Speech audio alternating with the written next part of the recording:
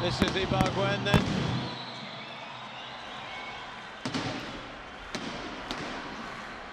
Such consistency from the Colombian, something which others can only dream about, I guess. That's built on her ability as well. Good speed, as always, on the runway. And again, that's a good jump. Is it legal? A little nod, a little shrug of the shoulders. It is as well.